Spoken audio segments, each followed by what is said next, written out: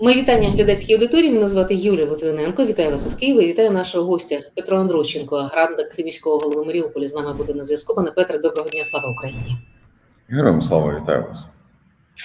Почнемо з огляду театру бойових дій. Давайте поговоримо про про те, що відбувається на сході, на півдні. І звісно, я не можу не попросити вас прокоментувати а, одну з реплік е, президента Путіна під час його інсинуації, яку називають прес-конференції. Він каже, знову ж каже про його спитають, до речі, виникає вже в росіян запитання, чи змінюється наша мета і цілі так званої спецоперації. Він каже, цілі не змінюються. Це демонстрація того, наскільки потужним був, як я так розумію, радянський союз, коли він каже десовітізація, це да, Е, то це означає, що він е, натякає на те, що Україна не спромоглася ні. Він каже, Україна нічого не виробляє і нібито не спромоглася нічого збудувати, ніяких підприємств, е, ніяких фабрик, заводів. Скажіть, а що було весь потенціал, вся індустріальна потуга Маріуполя за часів незалежної України? Я би почав тоді з потуги, про яку там розповідає Путін, да, що було в Маріуполі, що і чому щось сталося, а чому не сталося. Ну, по-перше, це велика промислова бульбашка. Вона просто е, вибухнула за період за 30 років України. Ми це дуже е, ну, це дуже легко побачити. Ну, наприклад, посеред Маріуполя був радіаторний завод. Він зараз там будівля його розтрощена, але він існує. Як таковий він закінчив свою роботу, тому що ті радіатори, які випускалися, і ті радіатори, які власне е, була потреба за радянських часів, вони нікому не потрібні тому він фактично збанкрутив. А люди, які, яким він належав, переїхали в Москву, як не дивно.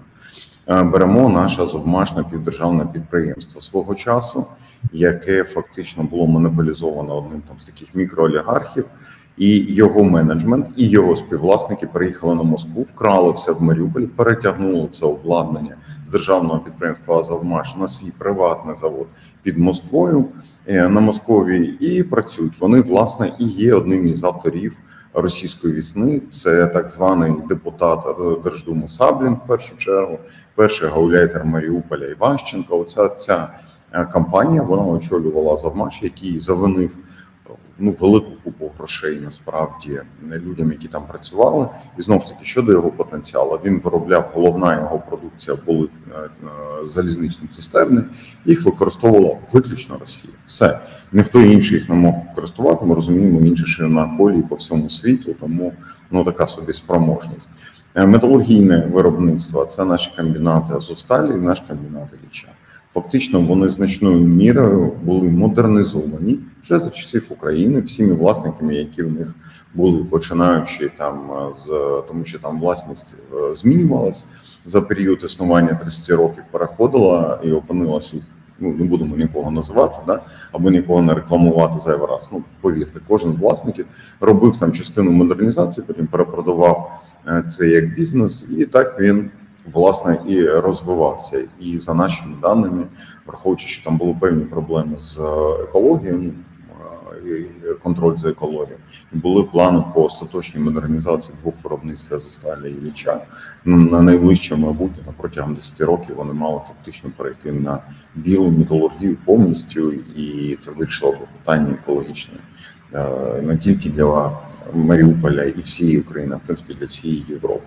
Що ще порт працював, працював нормально і зростали потужності. Був е, розбудований е, зерновий термінал, комерційна історія.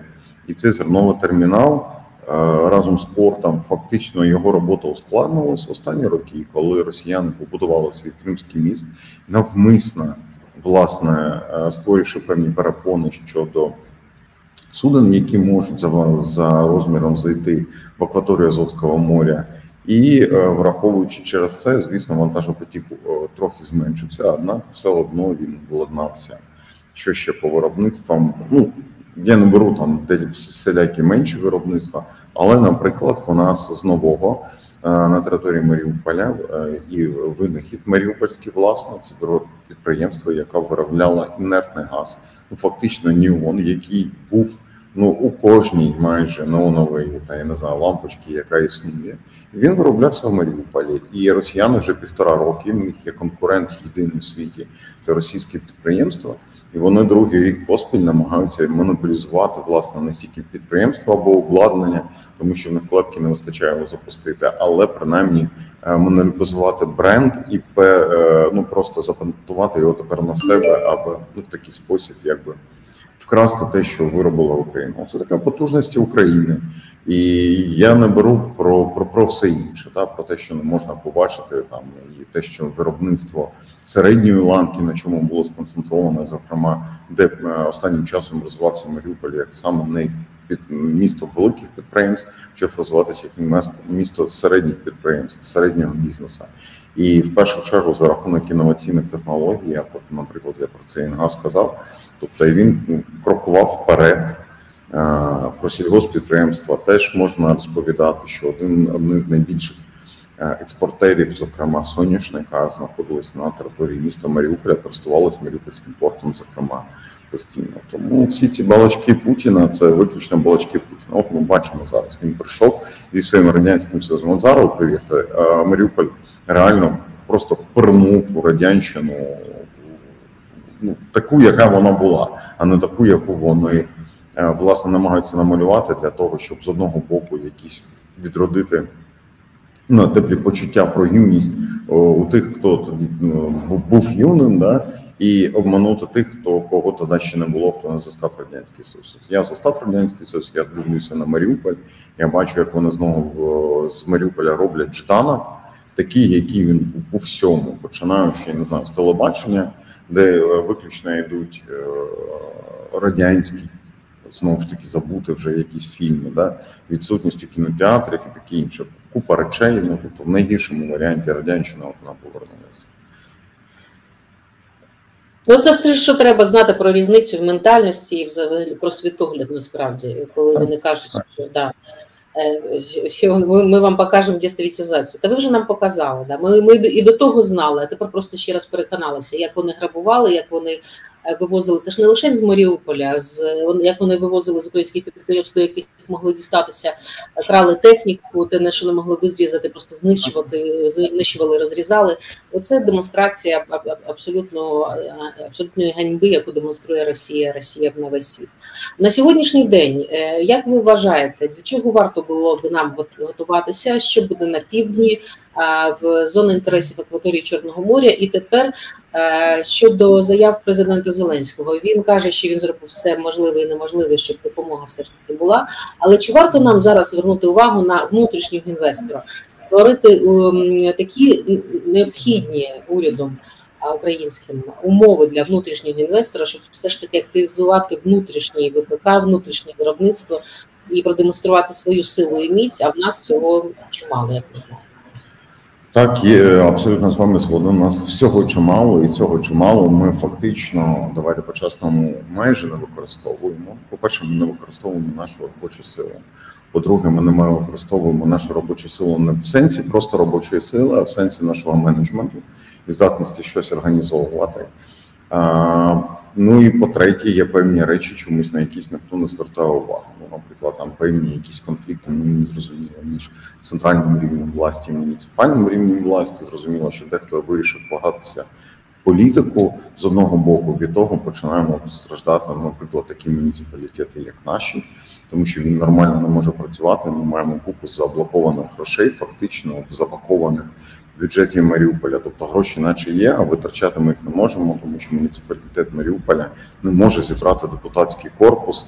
Ну знову ж таки за там різні є для того причини і передумови. Проте, якби нам розпочатали дали можливість спрямувати всі ці гроші дійсно на розбудову військово-промислового комплексу. Я вас запевняю. Ну, наприклад, місто Маріуполь навіть в евакуації могло би зараз виробляти або снаряди, або ну не знаю, або по БПЛА, або будь-що. У нас достатньо е, муніципального менеджменту запустити будь-яке виробництво. У нас достатньо. У нас понад 60 людей отримують гуманітарну допомогу щомісяця, фактично. Тобто ці люди з радістю би пішли працювати, враховуючи, що абсолютно більшість з них це люди виробничих професій. Так? Це наші металурги, це наші портовики і такі інші. Тому дійсно наш е, військово-промисловий комплекс має розвиватися. Дійсно, нашому кабінету міністрів треба передивитися, тому що нещодавно спілкувалися на одній з панелів з панелів з міністром фінансів. І в мене е, от, абсолютне відчуття не лише в мене і в людей з бізнесу, хто були присутні, що наш Кабмін в якомусь паралельному вимірі трохи присутній. Тобто, коли мова йдеться от саме про перехід на військові рейки, але треба дивитися не на якусь. Ну, не хочу нікого образити, просто да не треба дивитися на певний прошарок е- людей, для яких за часів війни ну не, не багато чого змінилося в сенсі їх життєвих звичок, скажімо так. А суспільство ну, воно дійсно готове для такого переходу. Просто треба от перестати про це розмовляти і зробити кроки вперед, от реальні кроки зробити вперед. Я би ну зібрав, не знаю, я би зібрав всіх охочих, які е, можуть дати свої рекомендації з цього приводу. Мова йдеться про експертне середовище, там про муніципалітети, про бізнес. І власне я впевнений, що там заличені дні, заличені тижні можна зробити забагато, і вже там за першу за перше півріччя ми зможемо казати, і президент зможе казати не про мільйон дронів, наприклад, а про 5 мільйонів дронів. Це абсолютно реальна історія. Е, просто треба. Ну, треба всім зайнятися тим, що мають зайнятися, і менше розповідати. Знаєте, як то кажуть, е, хто хоче Хто ищет путі, а хто не хоче, тот ищет причини. Да, Є такі прості, не знаю, в українському воно звучить. На жаль, от треба досі шукати причини, пора шукати шлях. Так, це означає, що у нас просто звикли покладати і відповідальність за реформи на президента. У нас президент за все відповідає. Роль, роль уряду. А оцей так. діалог між урядом і бізнесом. Чи має бути цей, е, ці угоди переглянуті для того, щоб дійсно ми не не покладали надії на наших західних союзників, тому що Європа, як ми бачимо, до довготривалої війни не готова. Всі там розучилися воювати. Вони ще до якихось швидких дій готові. А нам треба готуватися до протистояння і гри дуже на тривалий на тривалий час. Абсолютно так. Нам ну в реальності нам потрібен новий суспільний договір скажімо так, да, як би там гучно це не звучало, але це саме ця справа. Давайте подивимось до до, до воєнний період, що що в нас існувало, чи, чи яка була потреба в муніципалітетах. Ми просили. Всі муніципалітети наші просили більшу децентралізацію, не чіпайте нас. Не? Бізнес просив те саме дерегуляцію і не чіпайте нас, але ситуація з війною змінилась. Власне, і тут е, вже є запит: не, не не чіпайте нас, а послухайте нас, і давайте зробимо разом тому що всі розуміють, мені здається, що в нас немає нічого, ну немає ніякого вибору. Ми маємо перемогти. Інакше ми просто фізично перестанемо існувати. Не просто як країна, кожен з нас фізично має ризик перестати існувати в незалежності від віку і статі. Тому саме час рухатися в цих нових реаліях. А тут і питання єдності. Оце і є нова єдність. Зрозуміло, що там новий вибух єдності був спочатку повномасштабного вторгнення. Пройшло півтора роки очікування дещо завищене, дещо не завищене. Ну і втори роки війни це не просто для будь-кого в теперішніх умовах. Це треба це зрозуміти, е, але це треба прийняти всім. Знаєте, я бачу, що суспільство починає це приймати, ну, якби приймати да, на себе. Я й маю на увазі людей. Я бачу по бізнесу. Бізнес це зрозумів і прийняв, що це. Тобто, треба всім зрозуміти, сісти, відкинути ці якісь незрозумілості, звідки мені незрозуміло вони виникають під час війни, і шукати спільне рішення, і ну, умовно кажучи, вкладати новий суспільний договір про те, що робить бізнес, що робить суспільство, що робить муніципалітети, що робить влада, що робить кабінет міністрів, що нам гарантує президент, що нам гарантують військові, як все це має відбуватись, і тоді все воно знаєте по полицях розкладеться. І питання переходу в країни на військові рейки, що має працювати, що має не працювати, скільки має працювати. Питання мобілізації, кого як, скільки ми мобілізуємо війська, хто їх як забезпечуємо, на що ми здатні ну в реальності. Да? Тут і питання інформаційної політики, тут і питання витрачання грошей. Тобто, все це докупи, і ці питання все одно нам прийдеться вирішувати. Ну як то не крути, тут просто є два шляхи. Або зараз ми все ж таки підемо мирним шляхом внутрішнього вирішення без політики і а, прийняттям прагматичних і технократичних рішень. А, тому що всі власне на це згодні. Або за певний час ми будемо змушені прийняти те саме, але до того ну просто збільшимо в суспільстві негатив між негатив між різними гілками влади, між різними складовими соціальними суспільства. І власне суспільство та вимагає не так багато насправді да, від влади. Дайте нам справедливість, е, зрозумілість і можливість приймати не рішення, а працювати на перемогу, так щоб ми розуміли, розуміли, що ми працюємо на перемогу. От все. Останніми днями, що в самому Маріуполі відбувається, тому що я бачу тут е, ем, з інтерв'ю військових експертів, які казали, що атакамси накрили Маріуполь, е, збройні сили зачистили шлях е, в Крим. Також я бачу з вашого інтерв'ю, з ваших коментарів нещодавних інформацію про те, що вибухи, які пролунали, були пов'язані з появою ворожої техніки та авіації. Е, давайте про це поговоримо, про те, як живе Маріуполь.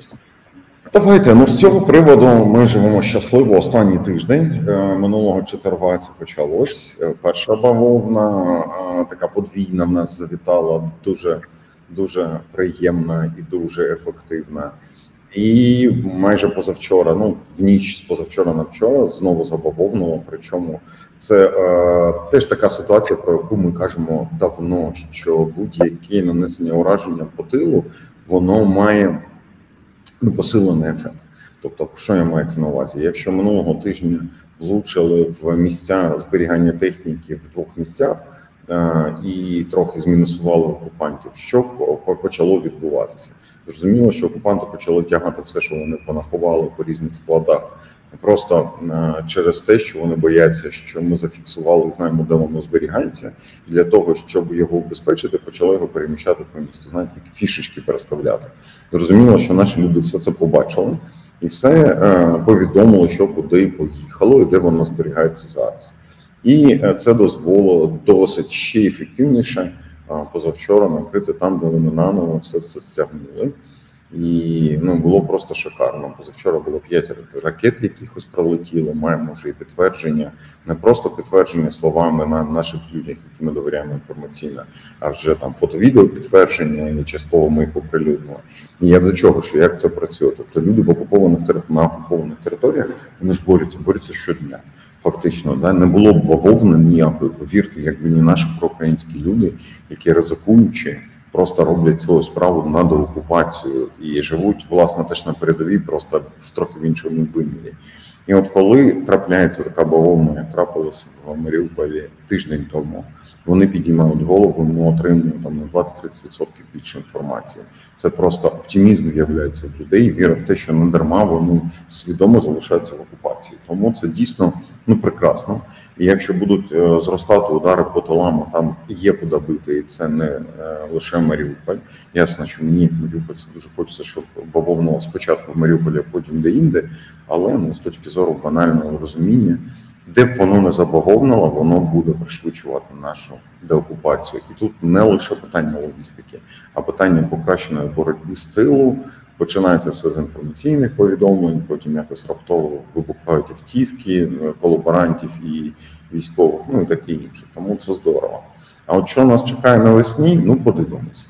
Я е, щиро, ну по-перше, я впевнений, що нас чекає мобілізація з російської сторони одразу після проведення виборів вони почнуть і почнуть знову ж таки з окупованих територій. На жаль, вже зараз вони її оформлюють в призов, готуються до цього і повністю навіть діти 2007 року народження, е, яким буде 18 наступного року, от вони їх вже ставлять е, в примусовому фактично порядку на військовий облік, незважаючи на що це означає, що вони дійсно готуються до будь-яких варіантів розвитку мобілізаційних заходів. Їх будуть забирати через призов, через контракти, через пряму мобілізацію. Нема в цьому сумніву. На зараз ми бачимо, що вони знову готують табори для підготовки. мобілізованих і контрактників перед Авдіївкою. Вони і під час перших дій боїв за Авдіївку їх поменшало, і їх всіх повивозили. То на зараз бачимо, що знову готуються їх сприймати. Не закінчують росіяни знову ж таки рити і не закінчують будувати фортифікації. Це значить, що вони теж готуються до можливого сценарію, що по якійсь ділянках фронту буде прорив, і ну, збройні сили не збираються сідати в глуху оборону, а збираються рухатись. Тому як воно буде, як воно складеться в наступному році, будемо дивитись. Знову ж таки, про те, що вже казав, да, треба жити в стадії сприйняття реальності. І ми всі будемо щасливі, якщо в 2024-му війна закінчиться, і ми ну принаймні докупуємо Маріуполь, якщо не повернемось додому. Але якщо для того треба буде ще не почекати, а попрацювати на перемогу, треба бути готовими працювати на перемогу 24-25 рік. Але розуміти, що все одно у нас ну, знову ж таки який наш шанс. Можемо повторити судьбу НР свого часу. Якщо будемо чекати, що хтось прийде на не допомогу на шелтер Антанти свого, як це було, да, і пам'ятаємо, чим це закінчилось. Маємо перемогти остаточно Росію і усечити наших дітей і онуків, щоб вони точно вже з Росією більше ніколи не воювали.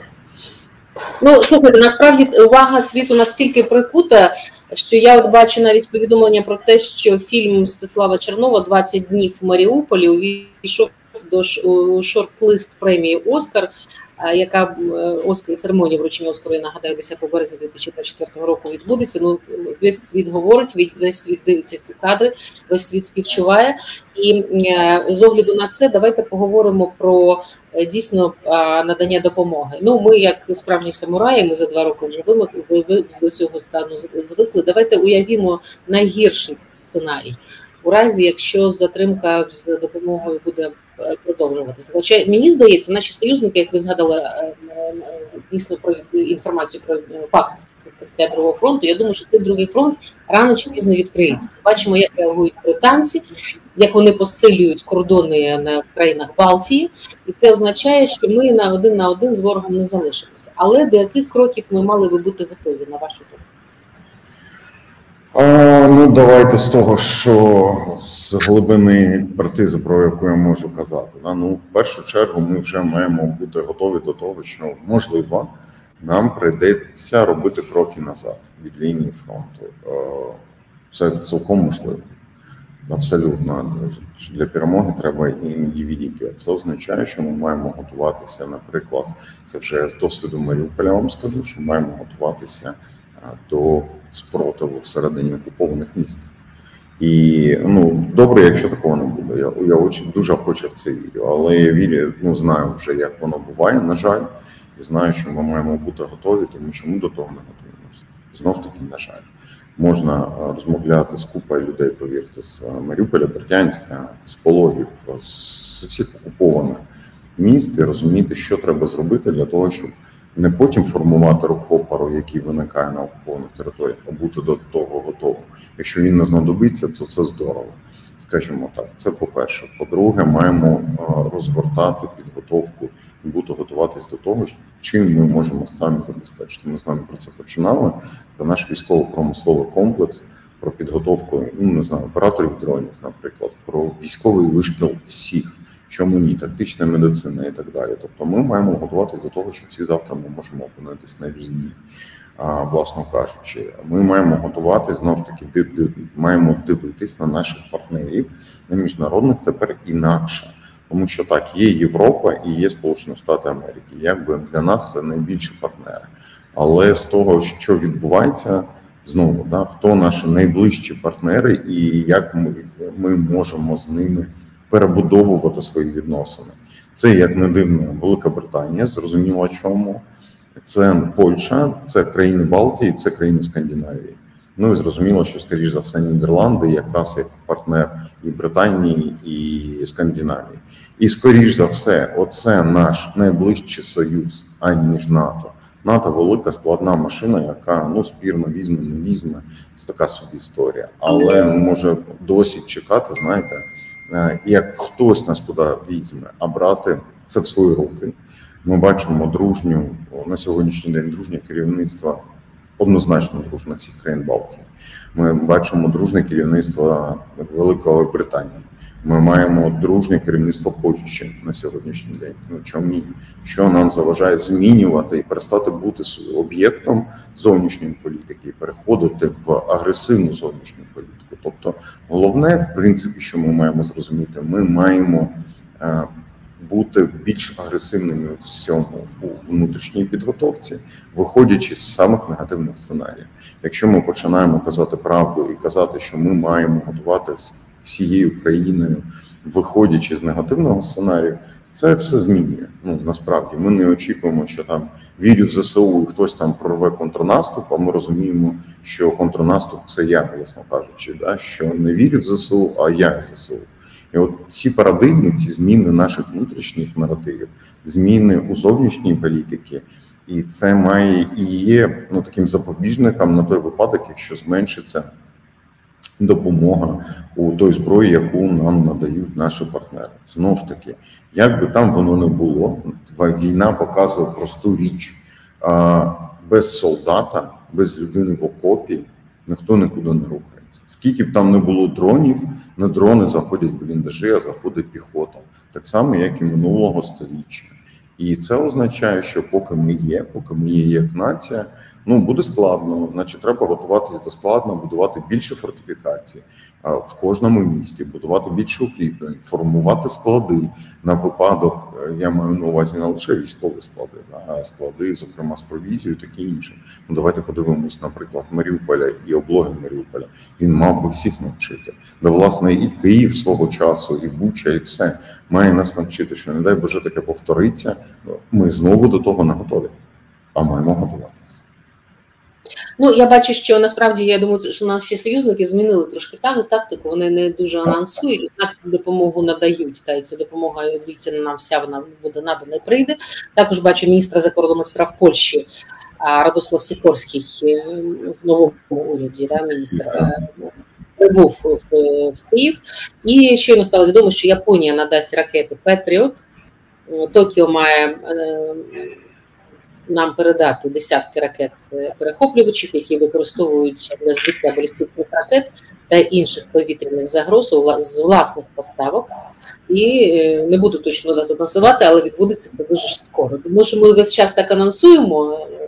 Давайте будемо трошки хитрішими. Вони хочуть бачити нас такими і будемо. Так. Ем, пане Петре, я дякую вам за можливість почути вашу точку зору. Я дякую також нашій аудиторії. Про нагоду про нагоді хочу закликати вас підписуватися на наш канал, не лише нас дивитися, шукати час від часу, ставити свої запитання не лише до нашої команди, але й до наших гостей. Дякую і до нових зустрічей.